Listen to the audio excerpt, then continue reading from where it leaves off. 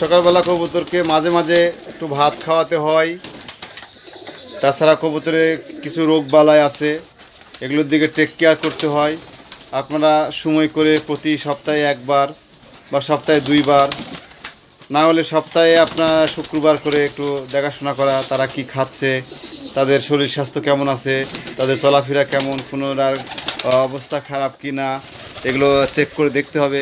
অনেক সময় ছোট বাচ্চা যেগুলো আপনারা বড় করতে চান সেটা দেখতে হবে, সেগুলোর গ্রোথ ঠিক মতন বাড়তেছে কিনা, যেগুলো ছোট বাচ্চা আসলে খাবার ঠিক মতন খাচ্ছে কিনা, কোন জাতের কবুতর আসতেছে, এবং সেগুলো পাড়া নাকি পারি এগুলো খেয়াল করতে হবে। হ্যাঁ শুধু খাবার দিয়ে রাখলেই হবে না, এবং তাদের দিকে লক্ষ্য রাখতে হবে। হ্যাঁ আর এ, একটা তাদের খেলার জায়গা রাখতে হবে, ঘোরার জায়গা রাখতে হবে। হ্যাঁ বিষয় হচ্ছে যে একটা কবুতর যখন আপনি পালবেন, কবুতরের উপরে আপনার মায়াও থাকতে হবে। মায়া না থাকলে কবুতর আসলে পালতে পারবেন না। কবুতর অনেক শখের একটা জিনিস। হ্যাঁ কবুতর আসলে শৌখিন একটা জিনিস। কবুতর পালতে হলে মনকে সুন্দর করতে হবে। সুন্দর মনের মানুষরাই কবুতর পালতে পারে। দেখতে হবে যে কবুতরের জন্য সুষম পুষ্টির ব্যবস্থা করতে হবে। তাহলে বাচ্চা আসবে এবং কবুতর যেন বাইরে না যায়, সেই দিকটা নিশ্চিত করতে হবে। কারণ বাইরে গেলে রোগ বালায় আসবে, বিভিন্ন কবুতরের সাথে মিশবে, সেখান থেকে রোগ বালায় আসবে। হ্যাঁ তখন আপনার মহামারী আকার ধারণ করতে পারে। এই জন্য কবুতরকে বাইরে না পাঠানোই উচিত। আর এরকমভাবে আপনারা প্রতিদিন যেন কবুতরটা উড়ার একটা ব্যবস্থা করতে করবেন, যেন এ পাশ থেকে ও পাশে যেতে পারে এবং তারা নির্বিচারে কোনো বাধাহীনভাবে একটু উড়া উড়াউড়ি করতে পারে।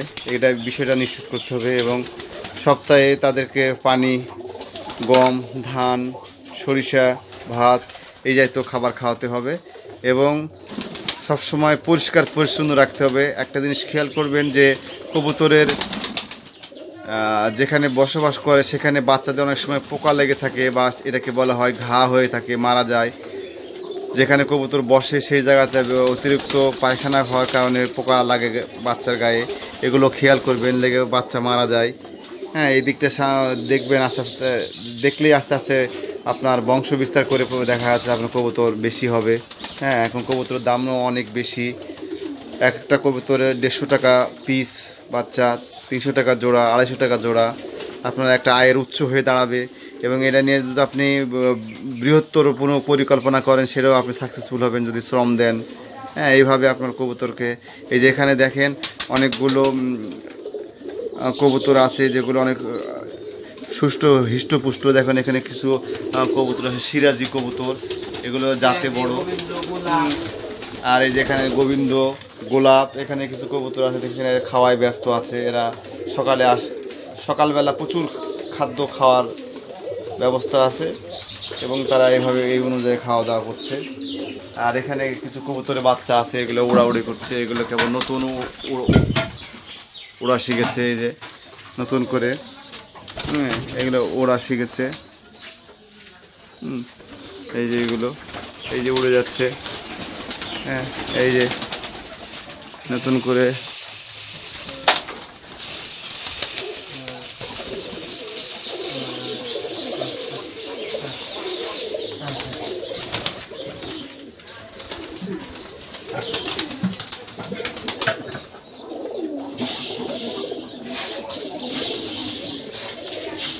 আর এখানে যিনি আছে ইনি হচ্ছে কবুতরের মালিক। কবুতরকে পরিচর্যা করে, দেখাশোনা করে। ওনার কাজ, উনি একজন প্রাইমারি স্কুল টিচার শিক্ষক, একজন ক্ষুদ্র উদ্যোক্তা হওয়ার চেষ্টা করছে কতটুকু সফল হবে আপনারা দেখে বুঝতে পারতেছেন। হ্যাঁ। মাত্র ছয় জোড়া কবুতর থেকে আজকে ষাট জোড়া কবুতর হয়ে গেছে। হ্যাঁ। তার আর একটা খামার আছে, গরুর খামার আছে। গরুর খামারটা যদিও এখনও ছোট, কিন্তু কবুতরের খামারটা এখনও একটু আসলে বাণিজ্যিক আকারেই বলা যেতে পারে। এখান থেকে প্রতিদিন আয় আসে। দেখা যাচ্ছে যে তিনশো, ছয়শো, আটশো, সাতশো হ্যাঁ এভাবে মাসে হিসাব করতে গেলে দেখা যাচ্ছে তিরিশ, পঁয়ত্রিশ হাজার টাকা আয় আসতেছে। আপনারা চাইলে এরকম তিরিশ, পঁয়ত্রিশ হাজার টাকা আয় করতে পারেন ঘরে বসেই। হ্যাঁ তো এই জন্য এক্সট্রা শ্রম দিতে হবে। আপনারা শ্রম দিবেন, সেখান থেকে দেখবেন যে আপনাদের রিটার্ন আসতেছে। হ্যাঁ এইভাবে আপনারা প্রতিদিন কবুতরকে পরিচর্যা করবেন, এর মাধ্যমে আপনারা অর্থনৈতিক স্বাবলম্বী হতে পারবেন।